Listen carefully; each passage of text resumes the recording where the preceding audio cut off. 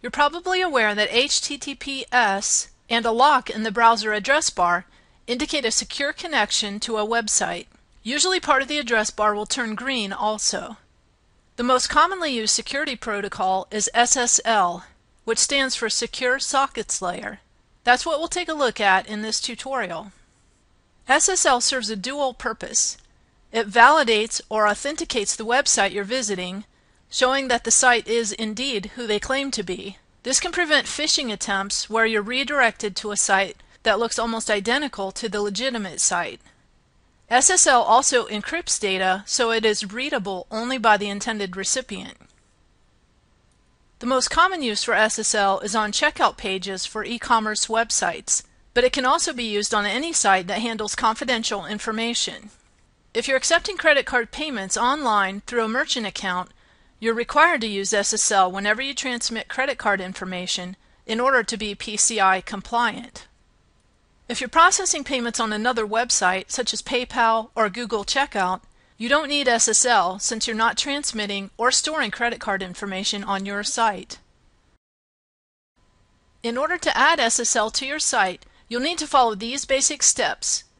Purchase a dedicated IP address, purchase an SSL certificate, install the certificate, set the desired pages on your website to use secure mode.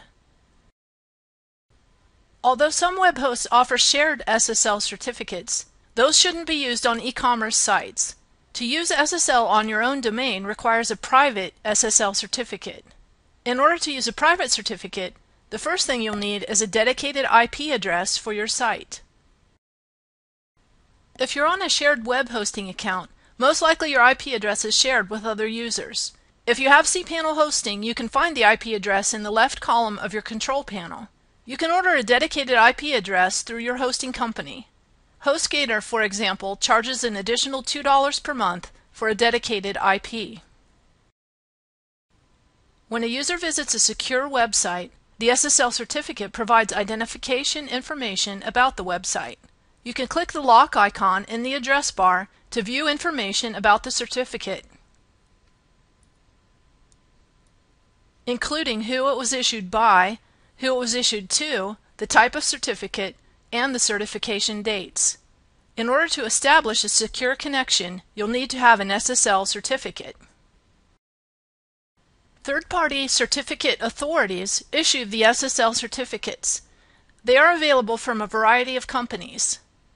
You can usually purchase certificates from these companies through your web host. That's generally the easiest way. Often your host will install the certificate for free if you purchase through them. Remember that part of the purpose of an SSL certificate is to provide authentication or validation of the identity behind the website. There are currently three types of authentication. Domain validated authentication is less expensive and you will receive the certificate faster, but it offers a low level of validation. The validations are often automated, performed by email or phone. Business or identity validation authenticates the organization behind the domain name and can take 1 to 10 days for approval. Extended validation certificates currently provide the highest level of authentication of the business behind the website. Sites with an EV certificate typically display with an extended green bar, such as on the PayPal site.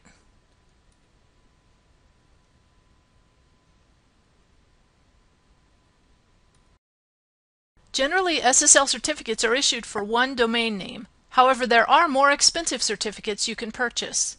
Wildcard certificates work on multiple subdomains of a single domain. Multi-domain certificates allow for different domains, all hosted on the same server. Once you've decided the type of certificate you want, you'll need to create a CSR through your web host. A CSR is a certificate signing request. You have to generate the CSR on the server that the certificate will be used on. The name used here for your domain must be in the exact form you want to use it for the SSL pages. For example, if you enter example.com, that's a different name than www.example.com. After you submit your CSR request, you'll receive the signing request text. Now you're ready to purchase the SSL certificate. Just for an example, this is a purchase form on the Comodo website. As I stated earlier, there are many certificate providers, and don't forget you can usually purchase directly through your web host. If you're doing it yourself though, you'll paste the CSR text you received into the indicated box and complete and submit the rest of the form. Now you go back to your web host and have them install the certificate. HostGator has another form where you can enter the information you received when you purchased the certificate. They also have a handy flowchart of the process involved in purchasing a third-party SSL certificate.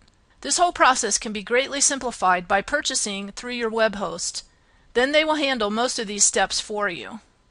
Just to give you a ballpark idea of pricing, here are a variety of certificates offered by HostGator through Comodo. In general, you can see that the pricing increases based on the level of validation. Multiple subdomain or multiple domain licenses are also more expensive. Check with your own host for exact prices. SSL certificates are usually purchased for one year, although multi-year certificates are also available. Either way, you'll need to renew before the expiration date. Once you have the SSL certificate installed, go to the Menu Manager in the Joomla Administrator panel and edit a menu option you want to use SSL. In the Metadata options, set the Secure option to On. When you access that page on your site, it will use a secure connection. You can also find a plugin called Yireo SSL Redirection in the Joomla Extensions directory. This can help you control which pages should use HTTPS and which should not. Here's an OS training tutorial on the SSL redirection plugin. I've covered a lot of ground in this tutorial. Basically first you need to decide whether you need SSL or not. If you're not taking credit card payments directly on your site or handling any other extremely confidential information, then you shouldn't need it. If you do need SSL, make sure you have a dedicated IP address. You'll need to have a private SSL certificate. Decide the level of validation you'd like, the number of domains or subdomains you need covered, and the number of years to purchase the certificate for.